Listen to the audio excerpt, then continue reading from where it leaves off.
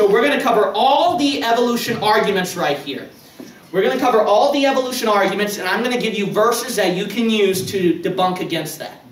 And not only that, the evolution, so-called evolution proofs will prove the opposite often. It will prove the Bible. So we're going to do that. First of all, Romans chapter 1. And notice what the Bible says concerning about God's creation. We're going to read verse 20. For the invisible things of him from the what? Creation of the world are clearly seen, being understood by the things that are made.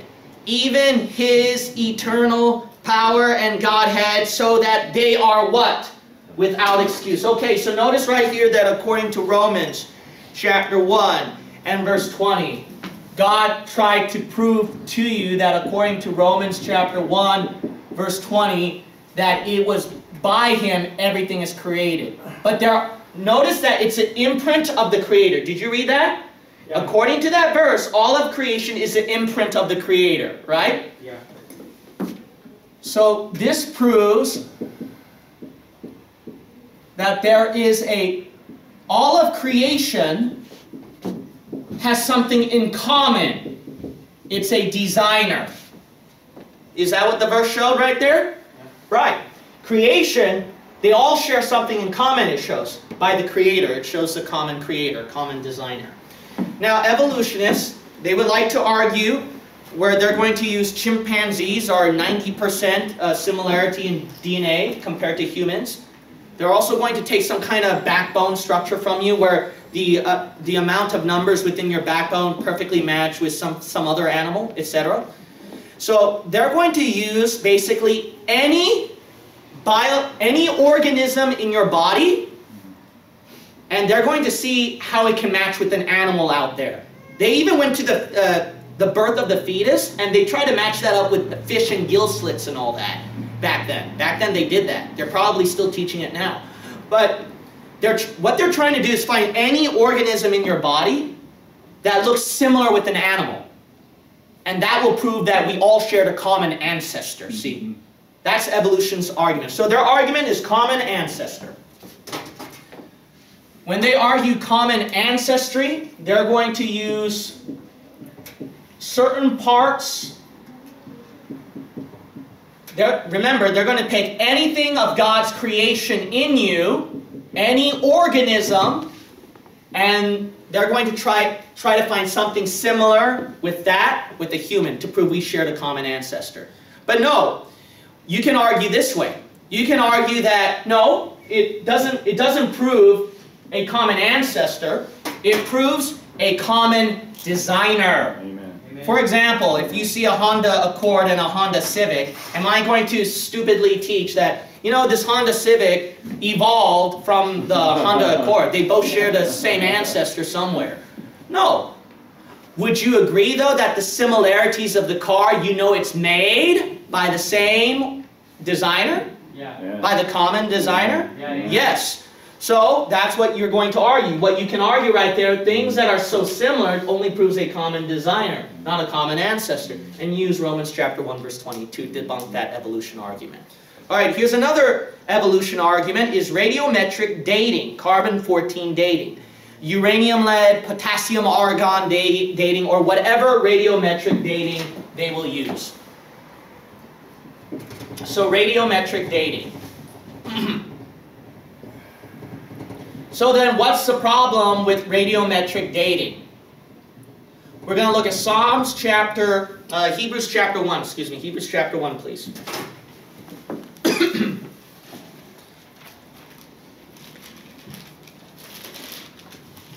Going to look at Hebrews chapter 1, and then we'll read verse 10. Hebrews chapter 1, and then we will read verse 10.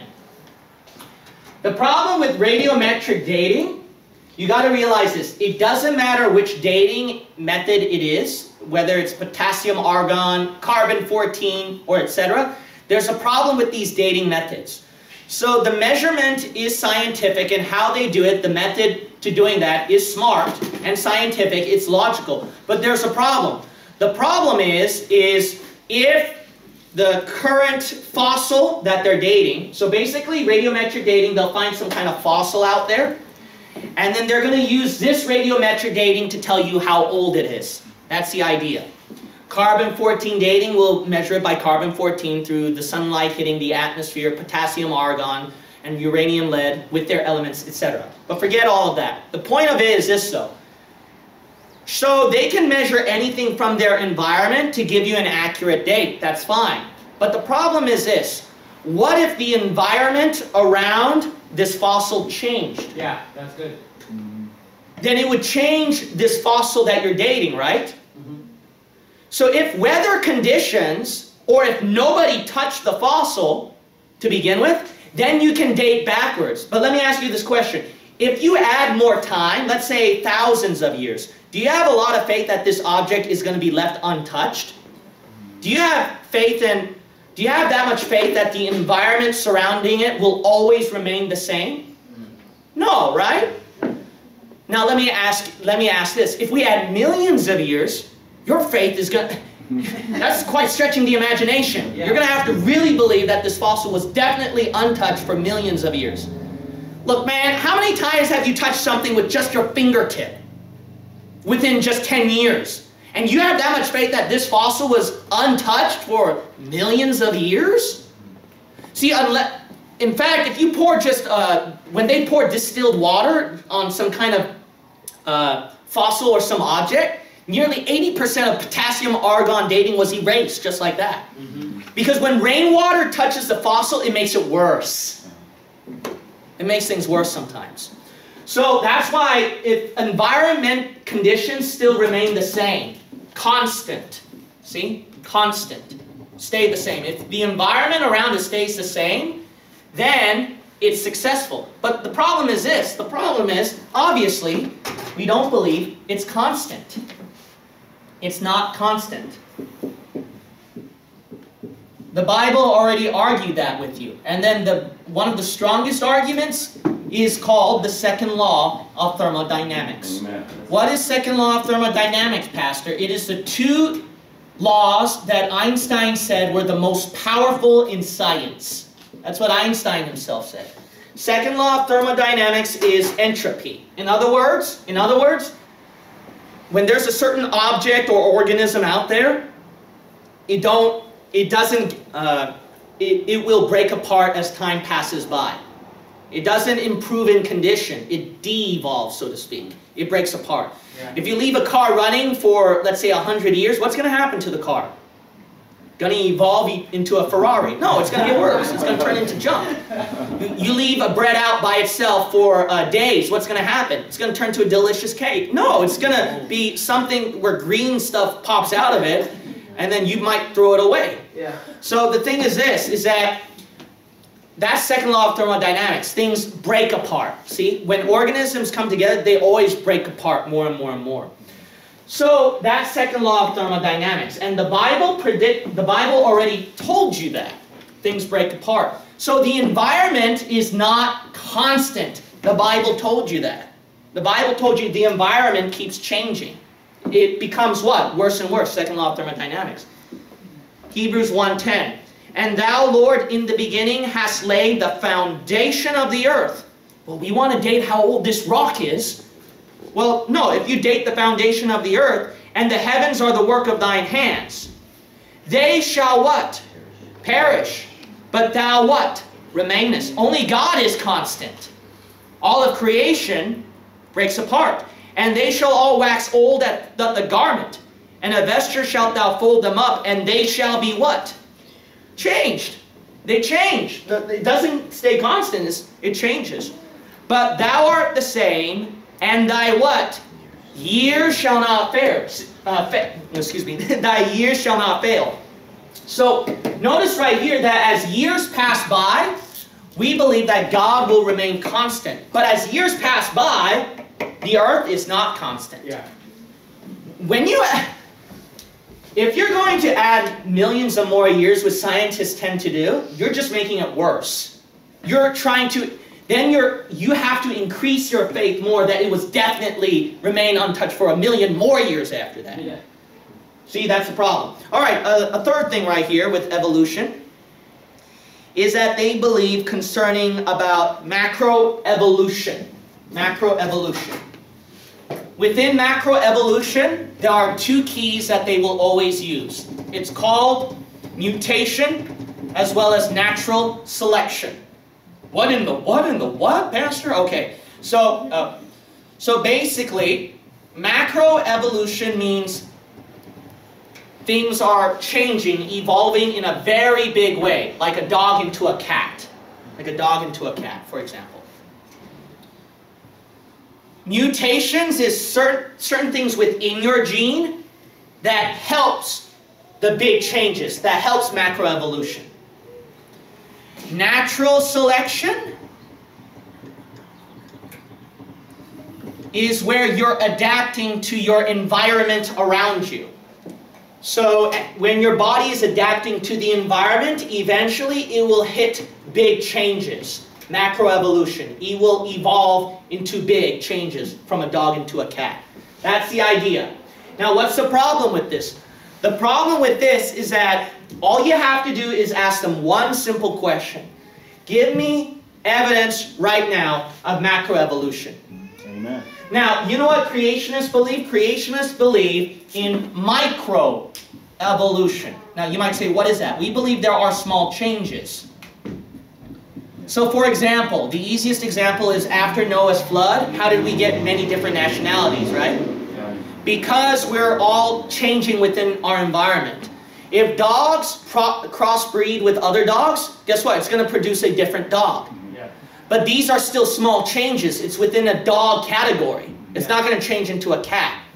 So all you have to do is ask an evolutionist, give me an example of macroevolution. And guess what? They will only give you evidence of microevolution. Mm-hmm. They can never give you an example of a dog changing into a cat. They can never do that. Or they can never prove where it changed in, into a different kind of animal. Look at Genesis chapter 1. The Bible says that it is created within their kind. Amen. So the Bible recognizes that there are differences within a kind, but it will always remain a kind. Look at Genesis chapter 1.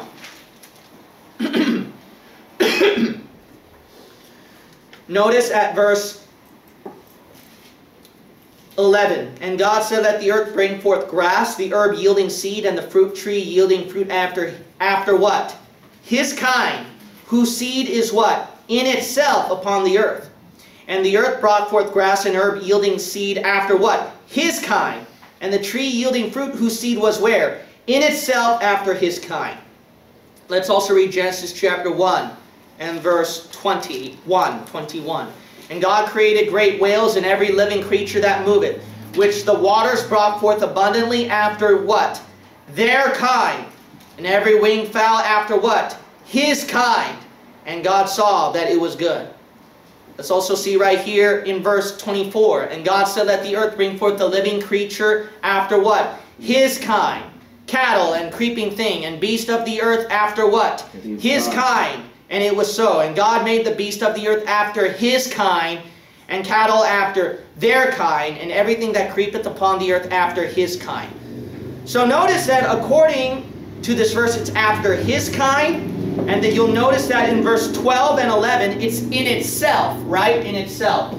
So basically, this is the most annoying question that evolutionists really cannot answer, to be honest. Even Ray Comfort always asks them this question, and an evolution cannot answer this.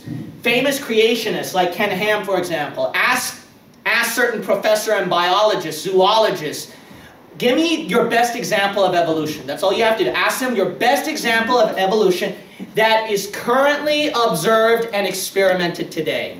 That's what you have to ask them. So we this one is do you know what the definition of a scientific theory is? Or a hypothesis? What it requires is observation and experimentation. Was there any such lab experiment where they created a dog into a cat? No.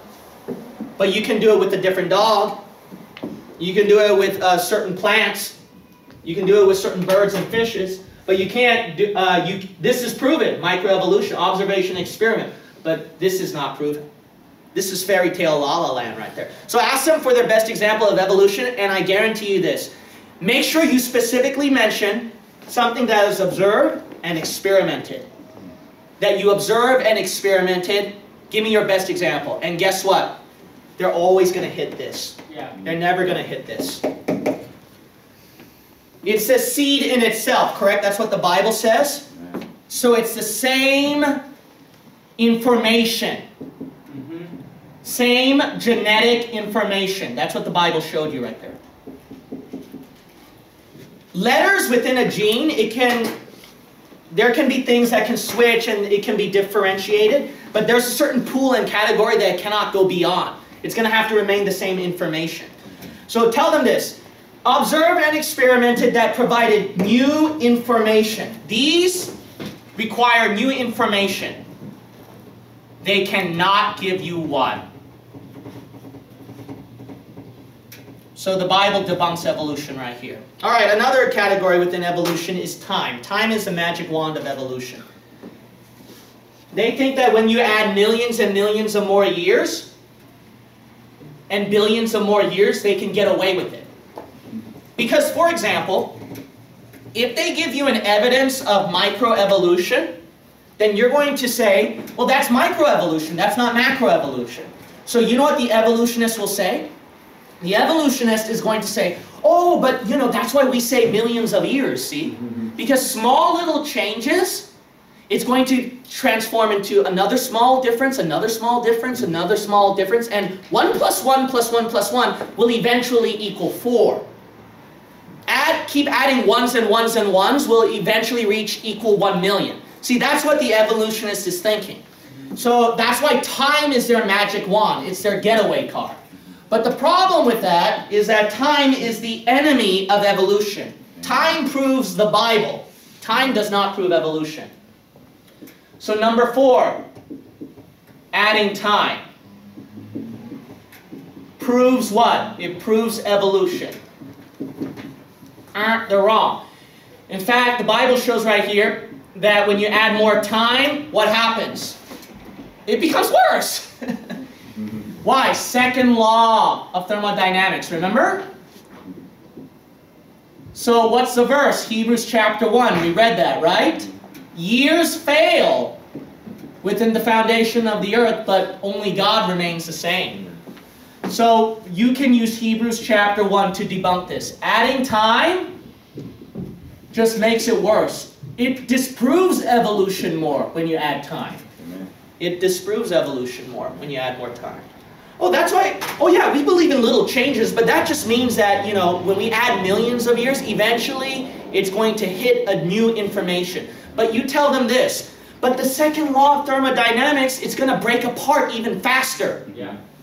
So before this category, this little organism will meet this other little organism and say, hey, let's evolve and change into something, second law of thermodynamics is just going to cut it off every time it does that. See, because second law is so much faster. So you got scripture to prove that. That's Hebrews chapter 1. Another scripture that you can use to debunk evolution is concerning fossils. So let's go to Genesis chapter 6, please. Genesis chapter 6.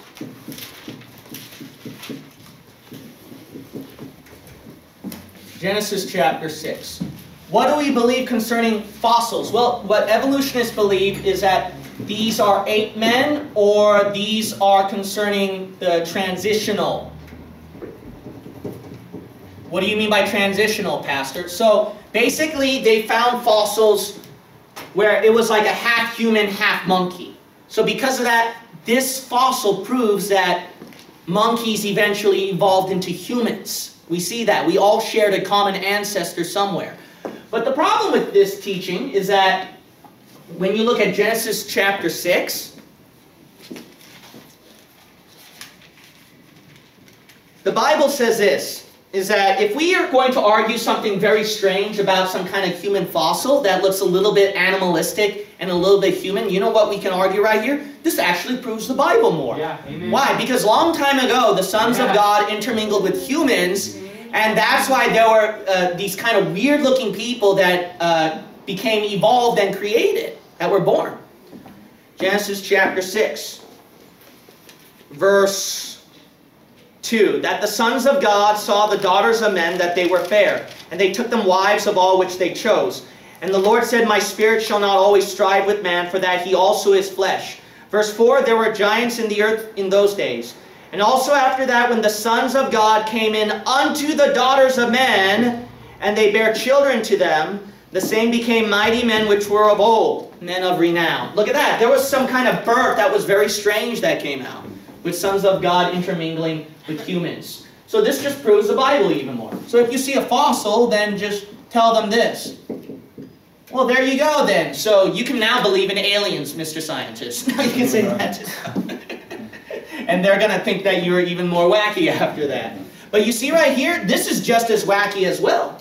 Because if if they're going to argue that this is proof of ape men, how do they not know that's just proof of a reptilian right there? So you have so you can make up anything with the fossil.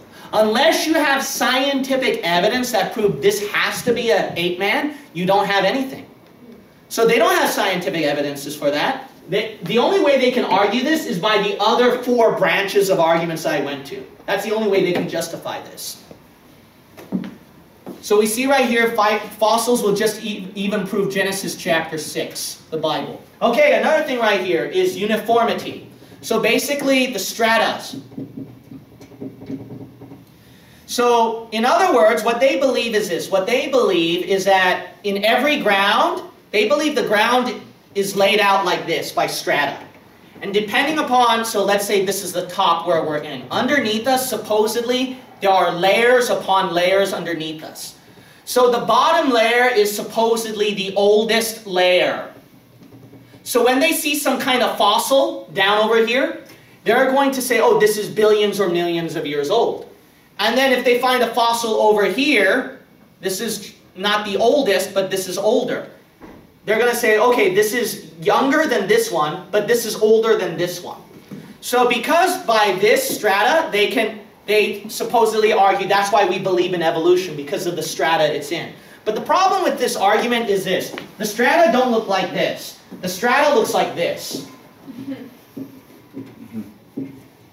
Didn't you know there are petrified trees upside down that went through several stratas? Didn't you know that there, they found a fossil of some kind of uh, some kind of animal giving birth, and then it was fossilized underneath? You think millions of years eventually passed by where another ground covered it? No. What does this prove? This just proves Noah's flood then. Amen. So this proves Noah's flood. So then strata only proves Noah's flood. So you can use Genesis chapter 7, Genesis chapter 8, Noah's flood. So geology, strata or geology, does not prove evolution. It only proves the Bible more if you study geology. I encourage them to study geology. So you'll see that from these following arguments of evolution, you have pure scripture that can explain away their arguments. So this is purely based off of scripture, and you'll notice that you can use scientific uh, reasoning as well as logic to argue your case right here.